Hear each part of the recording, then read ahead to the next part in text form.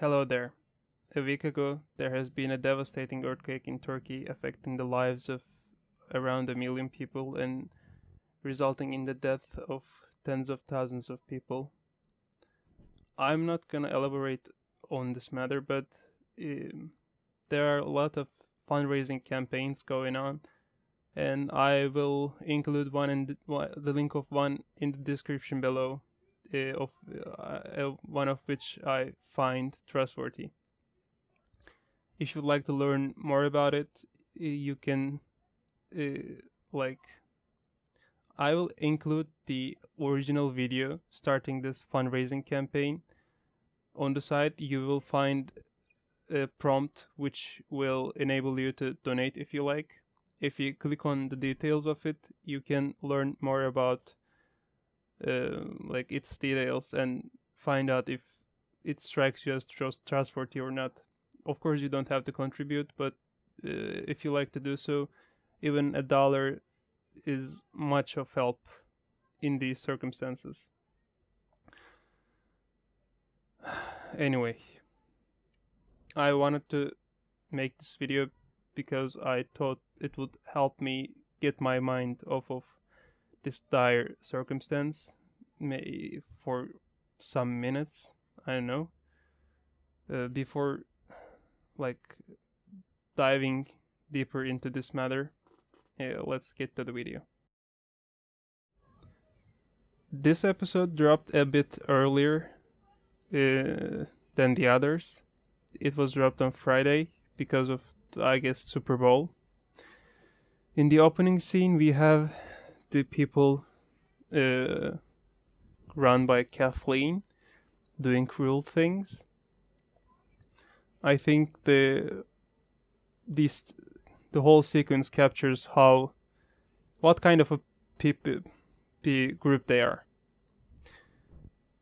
Uh, unlike different from the original video game, is Sam is uh, deaf in the show, and I think uh, they handled the whole situation really well.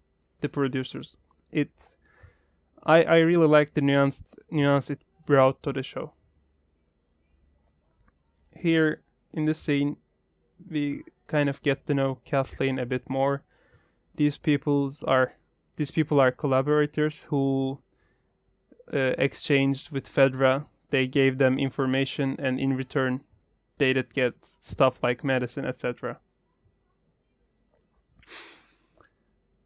Um, in this scene, this guy is talking to Kathleen like, "Are we, it's is it really logical to like search for Henry in the manner we do?" Like, uh, as I stated in the my commentary in the previous episode, like it would be enough to increase security precautions around the like whole perimeter. You don't have to. It it's not logical to follow this guy uh, with by, by wasting this this such an such an amount such high amount of resources. Uh, like he's kind of the voice of reason in this scene, but uh, he also asked Kathleen whether they're gonna put these collaborators on trial really, but um, she's not that much of a per- trustworthy person. She is not a person of her word, I guess. And this reminds me of Joel, the behavior of Joel when Ellie was captured by, the, I guess, cannibals. Um, he interrogates two guys from that group and kills them like I I I, if yeah, like I will assume that you do not know the scene and describe it to you. There are two guys back to back, they have some space between each other. They are both tied to something, their movement is fixed. Uh, Joel is trying to jo- double check the location so that like it's guaranteed. He's not really trying to do this, but um, this is the, he acts like he's trying to do this. He asks the guy on the front to mark the uh, show Ellie's where is Ellie on the map, and he says that now I'm gonna ask the guy in the uh, back, and if he points at somewhere else, then I will kill you. Uh, which kind of guarantees the like the the guy on the front should be so scared that uh, scared scared of dying that he should mark the right spot. Anyway, after uh, Joel asks him and he points the location, Joel kills the guy. Then go, goes to the guy on the back. The guy says, "Well, he told you the truth," and Joel says, "I know, I trust him." Then kills the other guy too, even without asking the location. Anyway, Joel is this kind of a guy. Sometimes, I just wanted to point that out. This scene was great in terms of remembering what The Last of Us is about. I think, I, I in the uh, like the briefest way to put it, I think that Last of Us is about humanity and these small nuances, relationships between people, and this scene is about the dynamic between Henry and Sam.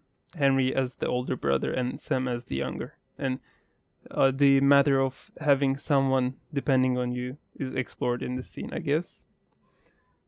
This guy who was killed in the previous episode uh, tells Henry that like the little one is scared, be scared because you are scared. Then Henry goes and talks to Sam.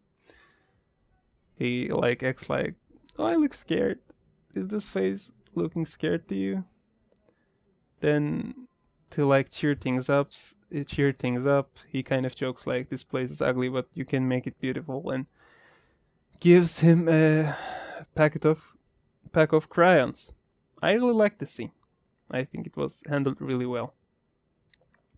Then we see the paintings from the previous episode, how they were, how they came to exist. I think, like, I'm not gonna elaborate on the like comment too much on the production quality, but as you know, I, as I have stated many many times, I really like it. Oh, I also like this scene because, like, um, put yourself in the shoes of Henry. It's really a tough situation to like when a kid is hang hungry and like you have to keep them from eating because you have limited resources. This happens again. Then they decide that the guy who was shot in the previous episode is probably dead and won't come back, and like they need a new plan, etc. I really, I also quite like this line because uh, I think it's really on spot because when you tell a kid to close their eyes, they the first thing I mean, they would probably like shut their eyes too tight. That's they instinctively the first thing they would do, but um, like this is spotted. I like the the, the way this line spots this. Uh, like I don't know what to call it, but generality a nuance of generality of humanity. I don't know. He looks like Michelangelo from Ninja Turtles. These shots were great. We are back to the end of the uh, previous episode. uh, I like uh, I quite like these lines too because Joe uh, really utters these words in in a voice tone like that doesn't sound trustworthy at all. And my reaction would be the exact same with Henry there.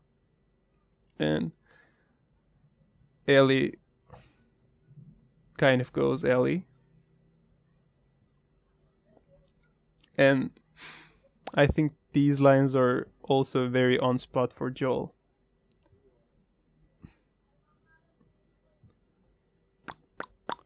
This is a callback to the, the opening scene, like Fedra were cruel to these people, and now these people are just cruel. Uh, in these scenes, I felt the tension, uh, like anxiety Joel felt. Like kids, kids kind of take it, take the whole situation more lightly than the most adults do, I guess, and they are kind of a, like since they depend on you, you would be extra on edge for keeping them safe. Uh, I think this this particular sh- uh, new um, th- action was forced. The in the little guy is not the Sam is not Sam is not included in the whole planning thing, but uh, in order to be inclusive, at some point Henry asks him like, "How do we get across?" and waits for him to write tunnels. But this takes goddamn long. Instead, I would have him in the planning thing, and I would make Henry act as a translator. He can both talk and uh, do those translate uh, what he's saying into hand gestures. I think it would be better, in my opinion. Where is Joel's fucking backpack? I asked myself when I saw this scene, but then I went back and realized that he didn't. Uh, he left it with the truck. I don't know why they did that, but actually I know why they did that because they wanted the Joel to shift to the backpack she uses. Uh, he uses in this uh, Last of Us Part Two, and that backpack backpack will be the one uh, he borrows from Henry. I it's forced. It was like, why doesn't my guy here have his backpack? Henry is like multiple times he is like the plan is good, the plan worked, but um, he like that's too early of a judgment, I think, and uh, Joel Joel calls that out. I I relate a lot to Joel. Like in if I were in this kind of a situation, I would definitely act like Joel and like uh, beat kind of tense. True, I would try to keep things low. Like I would act like Joel in general. Uh, the little painting you see there, you can see the cursor. I think, yeah, this is exactly taken from the game. It's a like Easter egg, if you may call it so. But you can call the whole show an Easter egg if you are to call this an Easter egg anyway. Uh, since the age gap between the two are greater than uh, what is in the video game, Ellie is acting like an older sister to Sam, but mm, she kind of the uh, Ellie character here kind of feels like the stereo, stereo, stereotypical American youth. Um, I'm not a fan, as I stated many many times before. They spend some time here, wait for for the sun to go down. We learn about why uh, Kathleen is looking for Henry, and I think uh, it's a valid uh, excuse. Like, I now it doesn't strike me as strange that Kathleen is so obsessed with Henry. Uh, but uh, I also understand Henry. Like, I he he's um, like the foreshadowing of Joel in a way. To his position he's like the foreshadowing of the end of this uh, the end of this season. Um, uh, I think these lines were kind of forced. Forced, like, am I the bad guy? I am the bad guy because I did the bad guy thing. No, like, I don't think that, and I don't think you should also think that. Like, your hand was forced, Henry. Don't take it too hard on yourself. I, would expect him to kind of like remain silent and wait for the response of Joel, but he doesn't let Joel respond. Again, pr- uh, prote- production quality. Uh, like, um, this scene is supposed to give some background information on Kathleen, but I I don't really care about Kathleen. To be honest, I didn't like the character. I I don't know. I'm not a fan. They're talking about uh, her brother, who was the actual leader of this group, and I'm kind of curious about him. No, I definitely would like to know would like to know him. Like everyone is talking so positive about him. I would like to see what kind of a leader he is.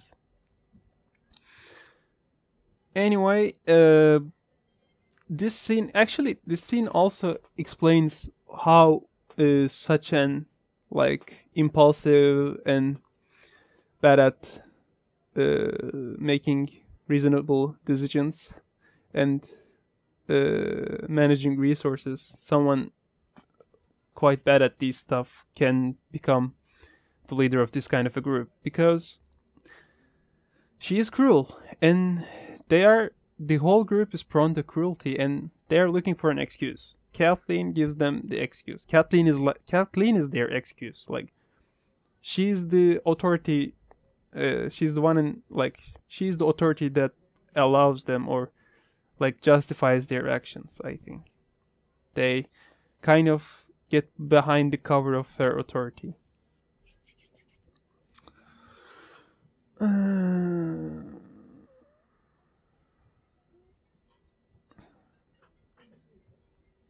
no one is here don't be so sure little guy and again, Henry is like, my plan worked. My plan, my, I, I'm a good planner. Uh, I like. Okay, I'm gonna say say if I don't know if I had stated this exactly as I'm going to state it now, but the Ellie in the show is like an Ellie. Uh, like let let's take the Ellie from the video game and define her properties. The Ellie in the show is like that Ellie with some of her properties oversaturated and some of them are undersaturated. Okay, this this is an Ellie, but a different Ellie. Eh, not that bad, but I am not a fan. That sniper sequence from the uh, video game. I'm gonna get rid of that cursor anyway uh, the, the, the this little sequence was kind of uh, forced forced like the, though actually this whole part is gonna be really hollywoodish and not so good this is the like baby steps illogical decision to like oh shit uh, let's move let's go what the fuck are you doing get getting the fuck out of here like where are you gonna go. There's a fucking sniper out there. Oh shit, oh shit.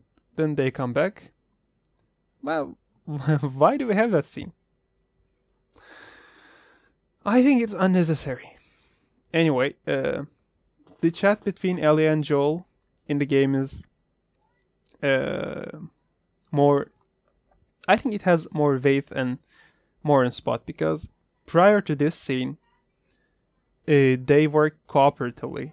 Ellie acts kind of like a sniper uh, on a construction thing. I don't know what to call it. Uh, and the Joel Joel is on the ground dealing with the uh, the like guys or enemies uh, in hand to hand combat, like in a close combat. Anyway, in the uh, video game, when Joel says that like I'm gonna go around and uh, try to get him from the back. Ellie says that, well, I'm coming with you. Joel says no. And Ellie is kind of. Now, they have some sort of an attachment between them, and Ellie is kind of mm, anxious. But Joel um, tells them that I need you to distract him. In the show, he doesn't say such thing. Like, he just sa- says that, like, stay here. Uh, I'm gonna handle it. the guy is an old guy.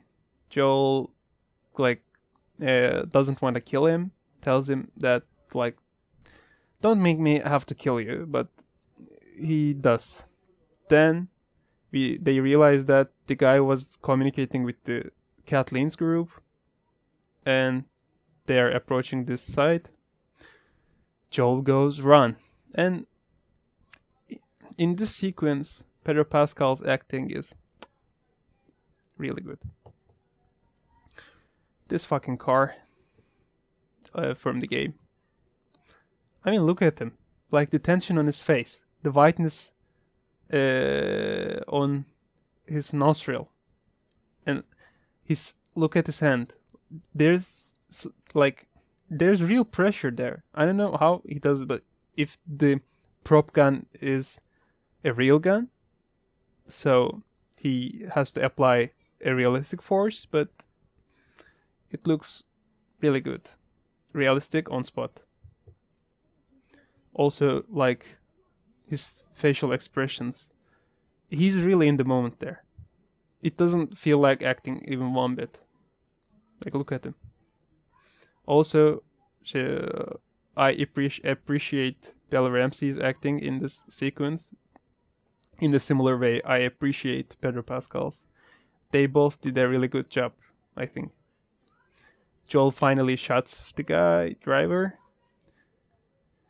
The car it goes into the collapse, the like building. The build, some part of the building collapses. The car gets on fire, etc. Kathleen is like an asshole. Henry is like the good guy. Kathleen is being an asshole. Kathleen is like fireflies here. Fireflies at the end of this season. Hmm, like um, uh, this may this might be a shitty example, but I guess it was in the Infinity War. Uh, Captain America says something like, "We do not trade lives." Later on, they trade lives, but Kathleen is uh, on the side of trading lives. Uh, he would rather let Sam die and many people uh, keep surviving. I think in the end of this season, Joel will rather have Ellie live, but whole humanity die. Like he he will not sacrifice Ellie for the for the humanity, and this uh, sequence is like a foreshadowing of that um, part to come uh, Kathleen is like, You think the whole world revol- revolves around him? That he's worth everything? That Ellie is worth everything? I don't know if I should talk about that part to come now, but I will postpone it for later and talk about it when the time comes. I'm not a fan of fireflies, you know, you, you can probably tell that by now. Sam Henry goes out, Kathleen is about to shoot him, but then Deus Ex Machina moment happens. And I didn't like that one bit. Oh, okay, they they hinted at the fact that there is something uh, happening under the surface. And like shit is about to hit the fan in the close future, but this is too convenient It too convenient that it doesn't feel realistic. Some people are gonna go tell me that this is a fucking zombie show. You expect it to be fucking realistic? Well, uh, I mean, I can suspend my disbelief to the point that believing um, a fungal infection can evolve in this manner, but there should be consist- consistency of reality in the show. Like, the show doesn't tell us that this is a fucking magical world. The show takes itself seriously and acts like this is a possible reality. So, yeah, that's that's a too convenient thing to happen, my friend. I also don't like that uh, mm, the show, the way show approaches like handles the infected situation. What I like about the game is that even though there are a small number of infected, there even like when you're faced with a small number of infected, mm, it's dangerous. They are they are dangerous. However, uh,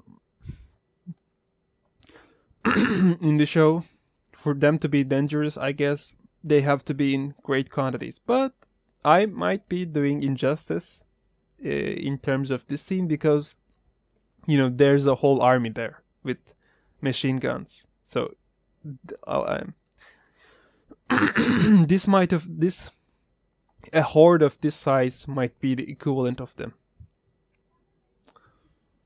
Uh, again, Pedro Pascal's acting, like the way he, his face kind of shakes, wobbles. You you see that, and it's it's really good.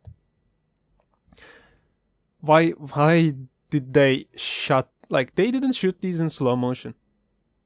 They sh- did sh- like shoot it in I don't know 24 FPS, then reduced it down to 12 FPS so it would look it would be a slow motion scene. But why?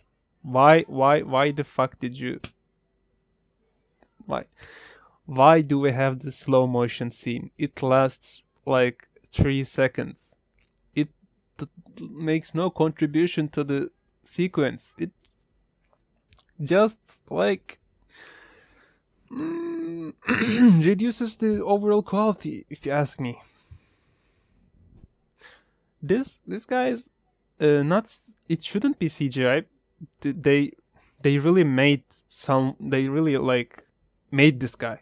There's a real guy inside this, but the way he uh, attacks others feels so like CGI. Uh, I guess they kind of mixed practical effects, uh, practical effects with uh, like CGI. Maybe, uh, of course, he, the he, the mouth part might the movement in the mouth part is CGI here. The whole thing is CGI here, I think but there also is a physical guy there. Weird. Well, Kathleen is like, like definitely. I, I would rather have her, like, deny his request and st- stand her ground, use a fucking gun to fight that infected, but she rather runs. This was creepy to like I don't want to say the same things over and over again, but you know what I would say in, for this picture. Uh, it it's I like that we got to see some stiletto knife action with Ellie, and also if I were Joel, I'd be proud of Ellie. Like she went all the way to rescue the two. Fucking Kathleen, like she's only powerful enough to shoot shoot these uh, these like I, I'm not I don't want to call them innocent, but defenseless maybe at least in this situation, people. But poetic justice, baby.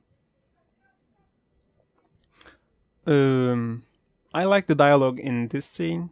I definitely agree with Joel. Like, However, Henry is like, "What the fuck is this guy talking about?" And Joel's like, "I mean, you don't have anybody else relying on you, and you're right.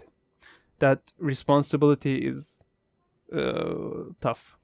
Uh, it it would be much more easier for someone to survive alone. Like I'm not sure it would be easier, but it would be mentally easier. I think. Um, you wouldn't have to think about like others, the safety of others." the well-being of others, losing others, etc. Uh, like these scenes are not bad, but um, I don't know if they could be directed better. Uh, I don't know what what I said previously about the Ellie character is like it also goes here. These lines are directly from the game He's like, Are you even scared? She's like, I'm scared of scorpions. And Sam is like, Man, and like that that's the accurate reaction to that answer, I think. And this, I think that this line is very much important for both of the video games. The like Ellie witnesses so much death. There's some like first I forgot the name of uh, her lover, but her lover. Then Tess. Then it's not spoil. It's not a spoiler anymore. Then Sam. like mm, maybe she thinks that this many people died because of her, and uh, sacrificing herself to that process would be her redemption. But Joel takes that away from her, and I think she feels uh, responsible for the whole thing, and uh, like feels like her only chance out of this is taken away from her. And uh, as I uh, said, like this line is important because I think in the core, that is the, her motivation is that she's scared of ending up alone, and one by one, everyone around him is like not everyone around him, but some of the people around him uh, dies and are gone. Also, this line will be is like kind of a basis for the dialogue that will pass between Joel and Ellie when around the Jackson part when Ellie uh, takes one of the horses there, uh, rides away, then Joel and Tommy find her. Joel and Ellie has a chat, have a chat, etc. At this scene, for a moment, I thought that they decided to save the life of Sam, and their method was like uh, this fucking process. Ellie cutting herself and using her blood to soothe the infection area, uh, like cure the infection. I was like, what the fuck? But they didn't go that way. It's uh, it's just uh, kind of I don't know a twist. We, I think we can call it a twist. Then the same sequence takes place here. The same sequence sequence we see in the game, but I think the one in the game was kind of better. People, some, especially the users in the like Last of Us subreddit, they go crazy when someone compares the two. Like, let the show be the show and the game be the game, but they are they share the same source, you know? And this show is an adaptation of the game. I'm not calling this show bad. I enjoy watching it and I am glad that we have it, but I of course can compare and contrast it too and voice my opinion uh, about which one I like better. And I like the video game better. Yeah. Uh, Henry shoots low to keep the Joel back. Joel is doesn't talk, but he's like, oh, man, "What the fuck?" In the video game, uh, he's like, "Fuck it." Then it reaches for his gun anyway. But before Joel, Henry kills Sam. And as I like, I think the shot here supports uh, what I have said about Ellie being scared of ending up alone, losing people around her, etc. Um, in this particular scene, uh, Bella Ramsey's acting is brilliant. I think. In the video game, uh, Henry blames Joel like it's your fault. Uh, it's also like it's not that on spot in the game too uh, i think the line here is more on spot like what did i do? But so, i the way it is executed didn't feel right for me. Again like witnessing the death of the two uh, bears bears some weight on ellie again, uh, brilliant acting. And that backpack from the second game. and we see them walk away. Well, uh, I guess this was it for this episode. I am, as always, looking forward to the next one. I am not gonna say excited because I don't feel excited at the moment. um, well, see you in the next episode then. Take care.